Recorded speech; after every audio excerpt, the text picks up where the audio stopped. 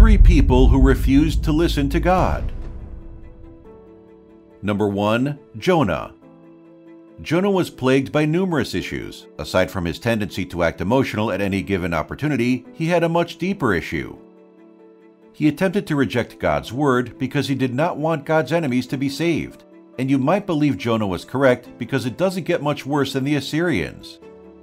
They flayed people alive and used some of the most heinous torture techniques documented in history. Jonah witnessed the northern kingdom of Israel be captured or scattered by them. Imagine his rage when God told him to deliver a warning message to them.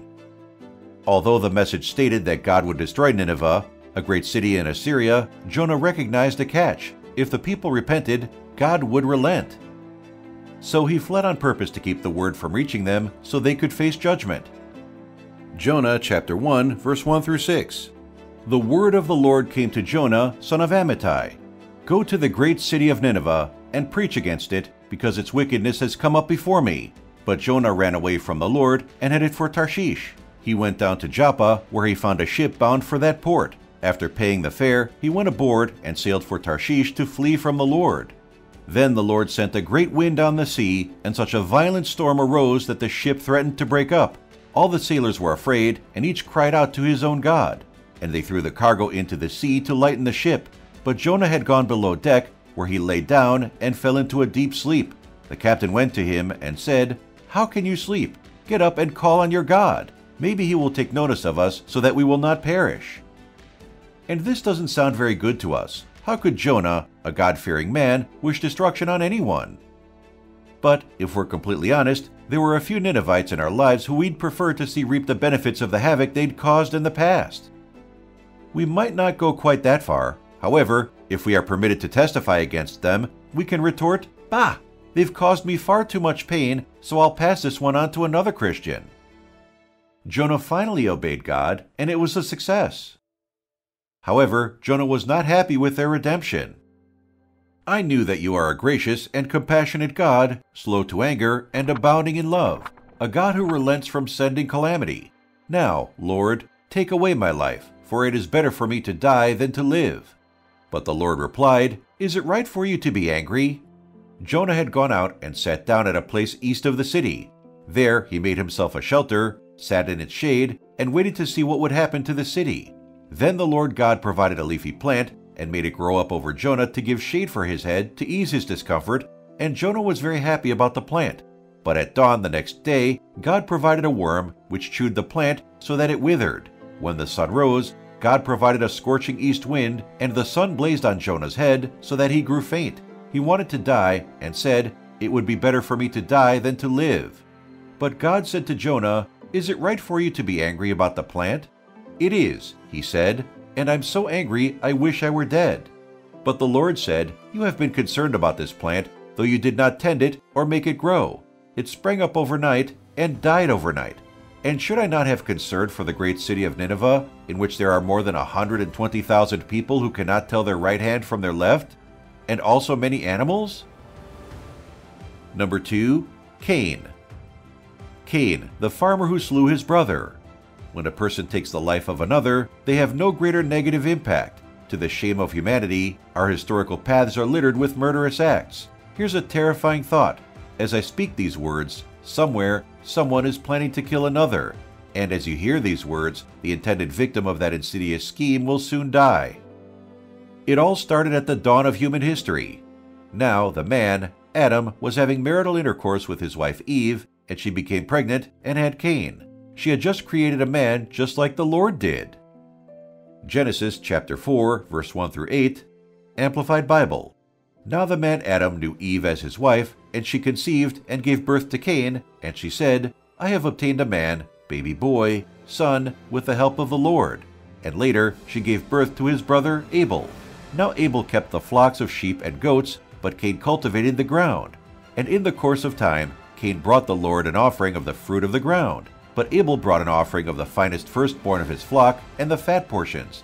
And the Lord had respect, regard for Abel and for his offering.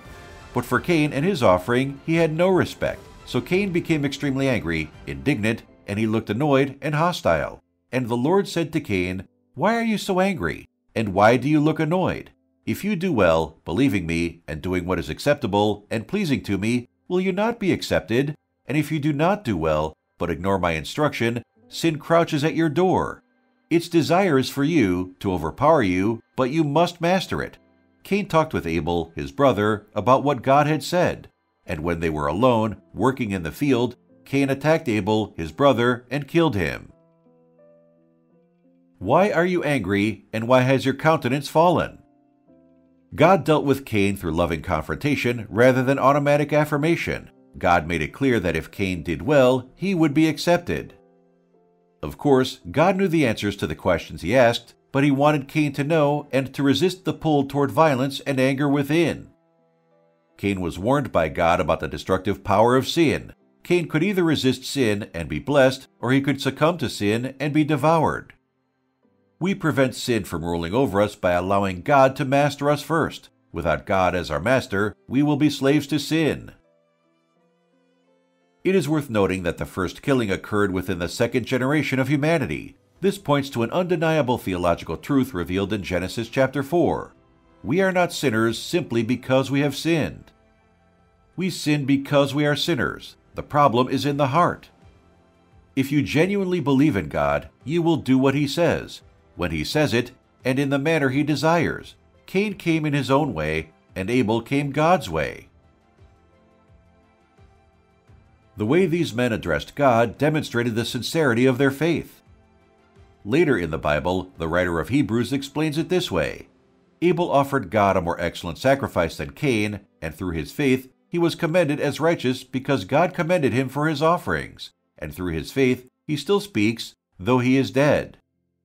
1 John chapter 3, verse 10 through 12, Amplified Bible.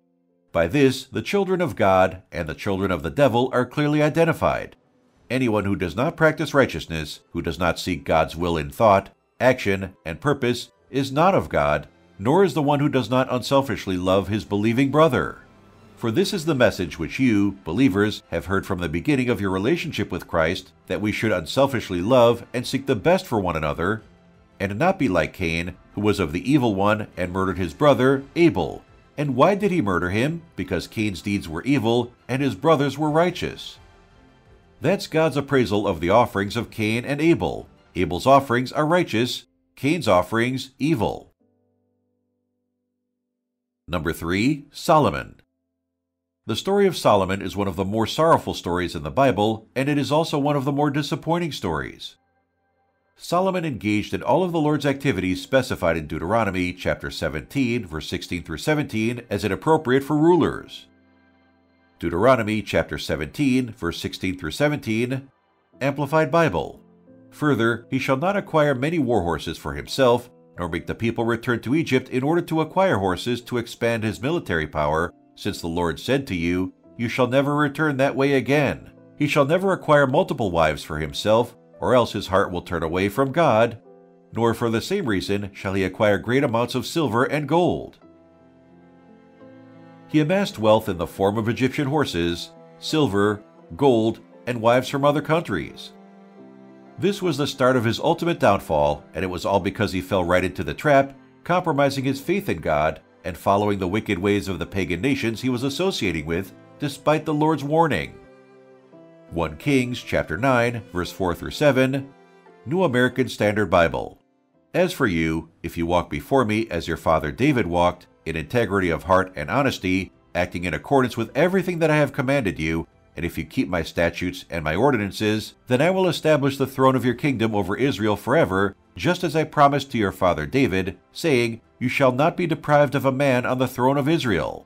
But if you or your sons indeed turn away from following me, and do not keep my commandments and my statutes which I have placed before you, but you go and serve other gods and worship them, then I will cut Israel off from the land which I have given them, and the house which I have consecrated for my name I will expel from my sight. So Israel will become a saying and an object of derision among all peoples. Solomon, as a result, lost God's blessing. Solomon may have been as young as 20 years old when he ascended to the throne. He was given an incredible opportunity. The final account of Solomon's life, however, is one of disappointment. 1 Kings chapter 11, verse 1 through 3, Amplified Bible. Now King Solomon defiantly loved many foreign women along with the daughter of Pharaoh, Moabite, Ammonite, Edomite, Sidonian, and Hittite women from the various nations of whom the Lord said to the Israelites, You shall not associate with them, nor shall they associate with you, for the result will be that they will turn away your hearts to follow their gods. Yet Solomon clung to these in love. He had 700 wives, princesses, and 300 concubines, and his wives turned his heart away from God. Solomon's polygamy was first a problem because it was contrary to God's initial plan of one man and one woman being united together. Second, marrying these women from neighboring nations was clearly forbidden, as God had warned that such women would turn the hearts of the Israelites away from following their gods. Solomon, unfortunately, ignored these facts hundreds of times. The extent to which Solomon disobeyed this crucial command is astounding. His wives converted him to idolatry exactly as predicted. 1 Kings chapter 11 verse 4 through 8, New American Standard Bible. For when Solomon was old, his wives turned his heart away to follow other gods, and his heart was not wholly devoted to the Lord his God, as the heart of his father David had been.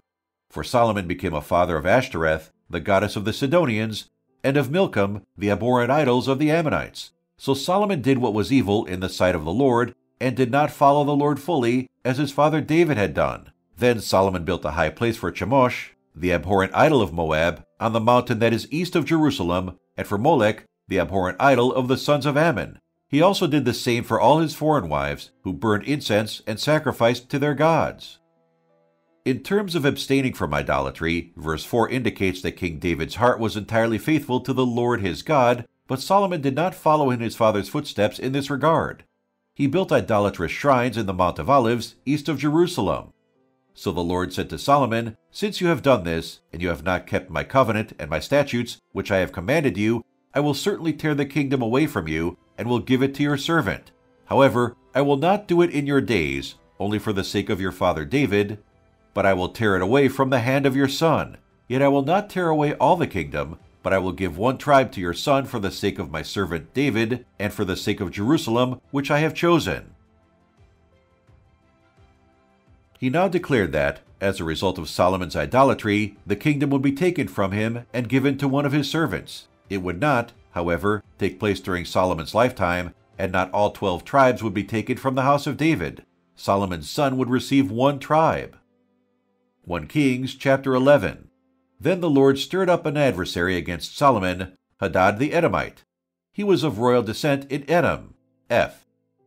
We know very little about Solomon's death. He left behind a son who was a bigger fool than he was, and a country that was deeply divided. We're curious if Solomon ever returned to the Lord. I believe he did. I believe we have Solomon's personal testimony in the book of Ecclesiastes. He came to the conclusion that the Lord is the true answer to experiencing joy in one's life. How did history's wisest man turn away from God?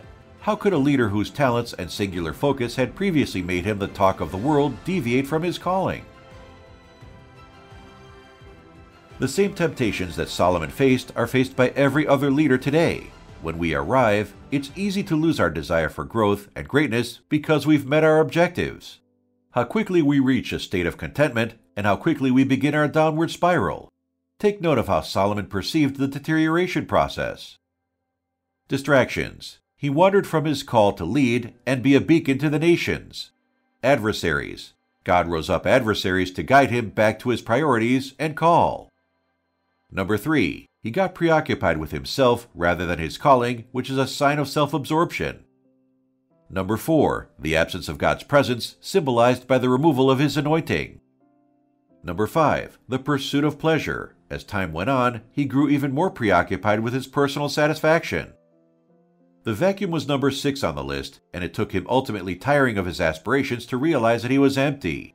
That he was empty.